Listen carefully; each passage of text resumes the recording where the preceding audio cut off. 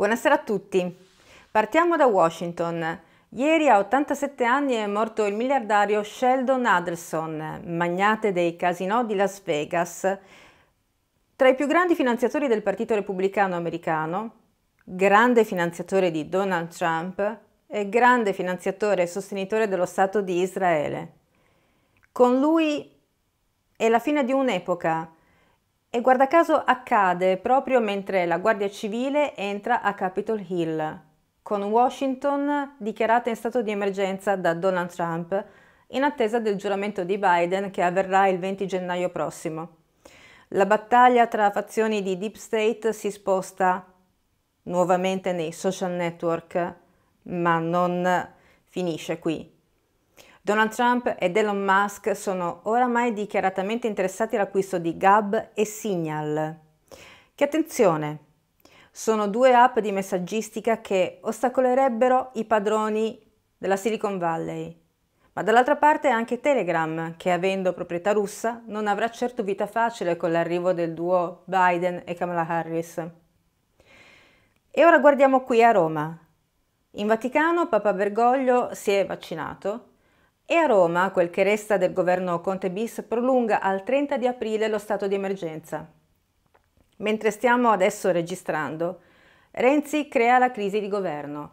Con la scusa di vedere il MES oramai ovunque, lotta intestinamente per il controllo degli 007, che comunque di italiano hanno sempre avuto molto poco, perché ricevono ed eseguono e continuano ad eseguire ordini che provengono da una parte di Washington che oramai non è più ben precisata. Sarà comunque una crisi parlamentarizzata. Conte, sostenuto dal Vaticano, è sicuro e si esprime così, dopo di me ci sarà il diluvio. Non cederà facilmente, ma è consapevole che gli equilibri stanno fortemente cambiando. Negli Stati Uniti come in Italia, un paese in cui uno come Renzi può ancora rimescolare le carte. Altri compromessi quindi ci attendono prima di arrivare al grande reset.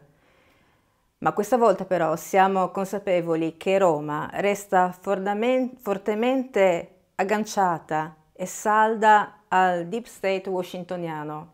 Attenzione, di nuovo attenzione, non si chiama più consensus washingtoniano, ma caos washingtoniano. E per il momento, buona serata e buona visione a tutti per domani avremo sicuramente ulteriori dettagli e informazioni in più da darvi. L'Organizzazione Mondiale della Sanità è stata chiara, nonostante la campagna di vaccinazione anti-Covid sia iniziata, l'immunità di gregge rimane poco più di un miraggio. Secondo Suma Swaminathan, ricercatrice capo dell'Organizzazione Mondiale della Sanità, bisognerà continuare a rispettare le misure di prevenzione ancora a lungo. Nel 2021 non raggiungeremo alcun livello di immunità della popolazione, ha sentenziato l'esperta. Ma cosa si intende esattamente quando si parla di immunità di gregge? Se ci affidiamo alla definizione ufficiale stilata dall'Organizzazione Mondiale della Sanità, si tratta di un concetto che cambia nel tempo. Fino a tre mesi fa, infatti, si considerava che l'immunità di gregge potesse essere raggiunta sia attraverso la naturale esposizione al virus, sia attraverso la vaccinazione. A partire dal 13 di novembre scorso, invece, l'Organizzazione Mondiale della Sanità ha cambiato le carte in tavola e ha stabilito che l'immunità di gregge è ottenibile solo ed esclusivamente attraverso la vaccinazione.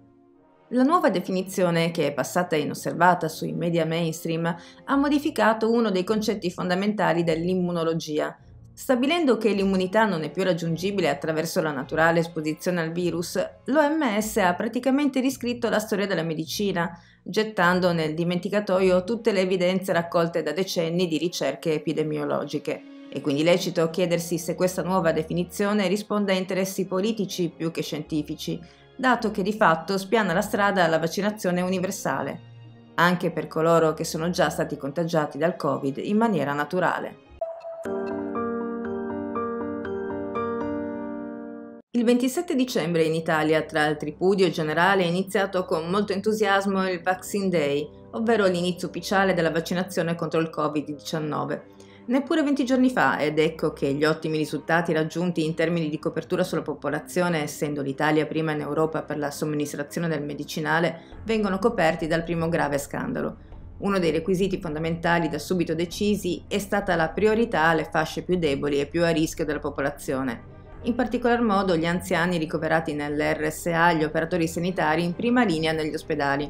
Una visione di buon senso per ridurre la pressione negli ospedali, ma che purtroppo ha impattato con la realtà Italia, con cui spesso si è costretti a fare i conti, ovvero con i cosiddetti furbetti, amici degli amici, qualche fortunato dell'ultimo minuto, personale amministrativo delle ASL, in pratica una nutrita schiera di persone che non rientrava nei parametri già stabiliti, con il risultato che a rimetterci sono stati proprio gli ospiti delle strutture per anziani.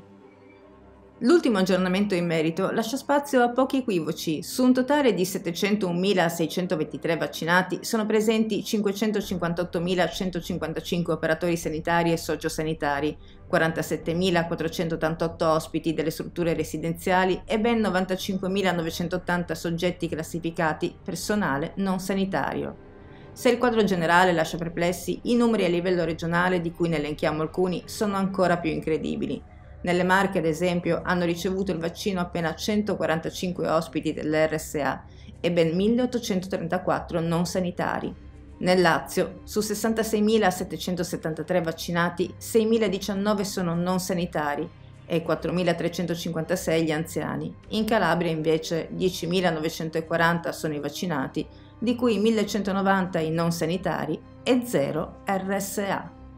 Un quadro desolante, alla luce del quale i carabinieri del NAS hanno iniziato ad acquisire gli elementi dei vaccinandi in diverse regioni e stanno valutando eventuali abusi e la configurazione di ipotesi di reato.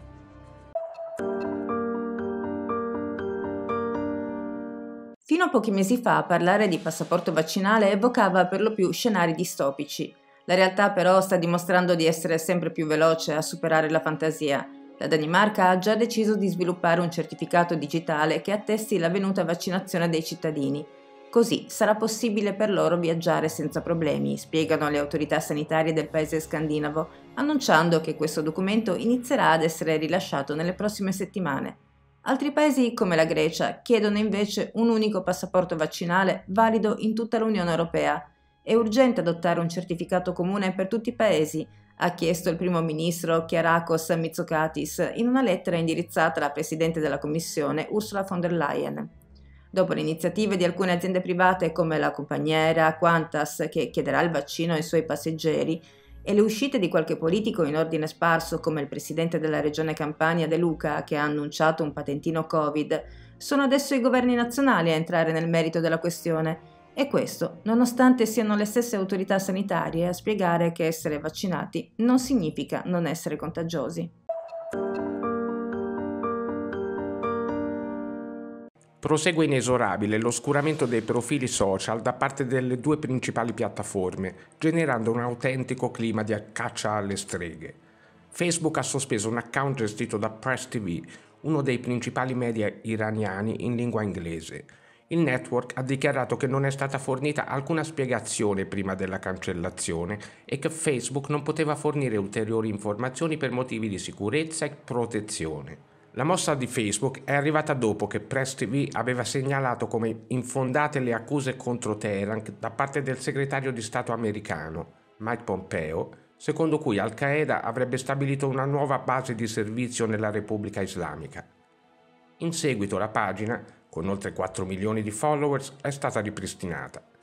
Twitter invece ha sospeso oltre 70.000 account, principalmente quelli che condividono i contenuti di Canon, il movimento fondato su una teoria del complotto secondo cui Donald Trump starebbe combattendo una guerra segreta contro una malvagia elite di potere. Per Twitter la rimozione dei profili, compresi quelli di Trump, del suo avvocato della campagna elettorale Sidney Powell, e dell'ex consigliere per la sicurezza nazionale Michael Flynn, è un passo necessario per combattere comportamenti che possono potenzialmente portare a danni offline. Intanto molti utenti, anche per colpa di norme di sicurezza e privacy poco trasparenti, stanno migrando verso nuove piattaforme social. Telegram ha da poco raggiunto i 500 milioni di utenti attivi. Il monopolio di Zuckerberg e dell'uccellino cinguettante potrebbe dunque essere giunto al capolinea, ma la domanda da porsi ora è per lasciare il posto a chi? E soprattutto, chi deciderà le prossime tappe?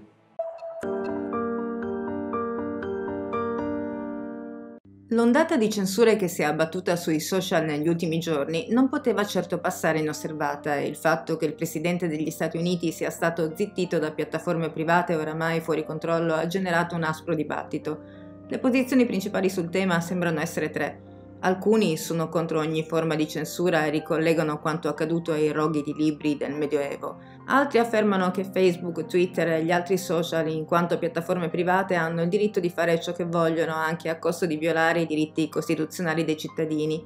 Ma è forse la terza tesi quella che suscita maggiore apprensione Alcuni europarlamentari infatti sostengono che la censura sia giusta, ma che non possa essere lasciata nelle mani dei big tech. Per Rafael Glucksmann, ad esempio, è necessario un supervisore indipendente. Per Pierfrancesco Maiorino del PD la soluzione consisterebbe nel creare una legislazione globale che aiuti a contrastare l'odio sul web. Due domande sorgono spontanee. Perché Maiorino ha usato l'espressione globale invece di una più generica come norme condivise? E perché Glucksmann, che in quanto europarlamentare è stato eletto dal popolo per rappresentarne gli interessi, vuole cedere il controllo di un tema importante come la censura ad un soggetto terzo indipendente a parole ma difficilmente nei fatti? Perché dunque non lasciare che occuparsi di questi argomenti siano i parlamenti nazionali, nel rispetto delle sensibilità specifiche dei singoli popoli? In un articolo pubblicato su Scientific Reports, il ricercatore Michel Kosinski afferma che gli algoritmi di riconoscimento facciale sarebbero in grado di identificare l'orientamento politico delle persone, distinguendo fra liberali e conservatori con una percentuale di successo che toccherebbe per ora il 72%. Dalla ricerca di Kosinski, che cita numerosi altri studi, si evince come la massiccia diffusione di sistemi di videosorveglianza a riconoscimento facciale, combinata ad algoritmi sempre più evoluti, potrebbe presto permettere di schedare un individuo usando solo qualche fotografia. Tanto basterebbe, infatti, per estrapolarne i dati relativi all'età, all'etnia, alla personalità, alle preferenze sessuali e politiche. In un mondo senza privacy, dove ogni nostro passo è spiato e i governi sanno tutto di noi, in un mondo in cui ogni giorno viene inventata una nuova emergenza per giustificare misure sempre più liberticide e antidemocratiche, non è difficile immaginare che uso verrebbe fatto di tale tecnologia. I potenziali dissidenti politici potrebbero essere identificati prima ancora di aver aperto bocca o forse prima ancora di essersi resi conto della propria ostilità verso il sistema di turno. Il cittadino del futuro potrà dunque essere arrestato per qualunque cosa che non ha ancora fatto, che non ha ancora detto, che non ha ancora neanche pensato, proprio come nel film Minority Report? E tutto questo gli sembrerà normale? Comunque sia, il mondo nuovo avanza.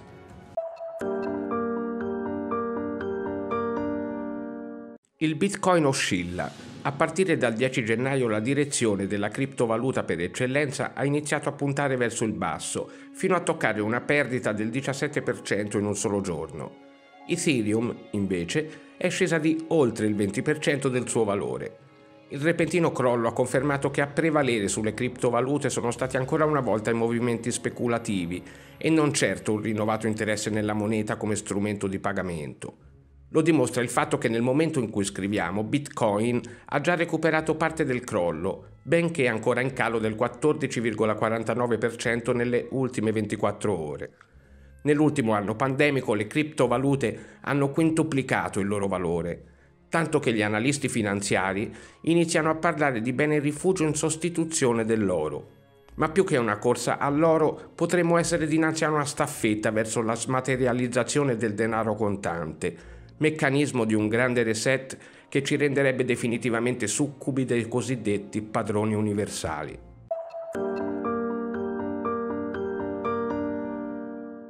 A vent'anni dalla fine della guerra dei Balcani, lo studio legale Aleksic della città di Nis nel sud della Serbia ha annunciato cinque cause penali contro la Nato. L'accusa riguarda l'uso ampiamente testimoniato e documentato dell'uranio impoverito nel paese nel 1999 da parte della coalizione occidentale guidata dagli Stati Uniti d'America. Sottoprodotto del procedimento di arricchimento dell'uranio, oltre ad essere utilizzato per scopi civili, ne si fa largo uso anche in campo militare, in particolare per munizioni anticarro e per potenziare le corazze di alcuni sistemi d'arma. Ampiamente denunciato da padre Jean-Marie Benjamin e nonostante sia classificato di basso livello radioattivo, l'uranio impoverito ha effetti molto gravi su ambiente e persone, effetti che possono portare alla formazione di tumori e malattie del sangue, Secondo l'emittente RTS, le prove legali nei prossimi giorni saranno sottoposte al vaglio di diversi tribunali serbi. Riguardano persone che, a seguito dell'esposizione all'uranio impoverito, contrassero gravi e acuti linfomi di vario genere. L'ufficio legale Aliexic ha tenuto a far presente che la preparazione di tali azioni legali ha visto la partecipazione attiva anche dell'avvocato italiano Angelo Fiore Tartaglia, patrocinante presso la Suprema Corte di Cassazione e tra i migliori esperti di diritto militare.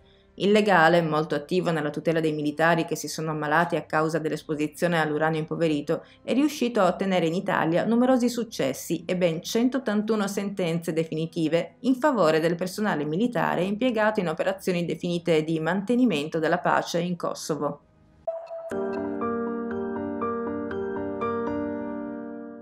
Nella giornata di lunedì gli Stati Uniti d'America hanno inserito nuovamente Cuba nella lista degli sponsor dei terroristi internazionali. Una decisione, quella dell'uscente amministrazione Trump, in profonda controtendenza rispetto alla presidenza Obama e che rischia di minare seriamente già in principio i rapporti tra il paese socialista e il nuovo inquilino della Casa Bianca Joe Biden. Cuba non possiede relazioni idilliache con l'America dal 1959 da quando Fidel Castro prese il potere e non è nuova in questa lista dei cattivi visto che vi era stata inserita per la prima volta nel 1982 durante la presidenza Reagan. Venne rimossa nel 2015 da Barack Obama nella speranza di migliorare le difficili relazioni economiche e diplomatiche. Il duro provvedimento stabilisce diversi freni a chiunque intenda investire nell'isola, con il rischio concreto che un qualunque avventuriero potrebbe incorrere in accuse formali e pesanti degli stessi Stati Uniti. Inoltre, sotto il suo mandato, il tycoon ha vietato viaggi e crociere nell'isola, limitando fortemente anche i voli diretti.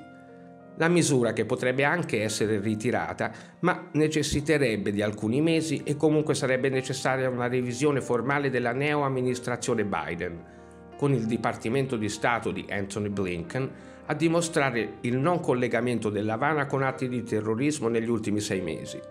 Nonostante nel tempo tra mille difficoltà i rapporti si siano un minimo normalizzati, restano le restrizioni presenti ormai da cinque decenni e che per essere ritirate richiederebbero anch'esse un atto formale del Congresso.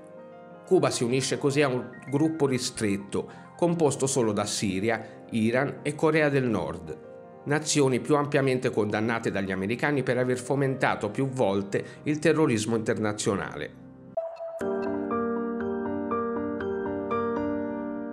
La presidente neoeletta moldava Maya Sandu ha tenuto la prima visita ufficiale all'estero, a Kiev.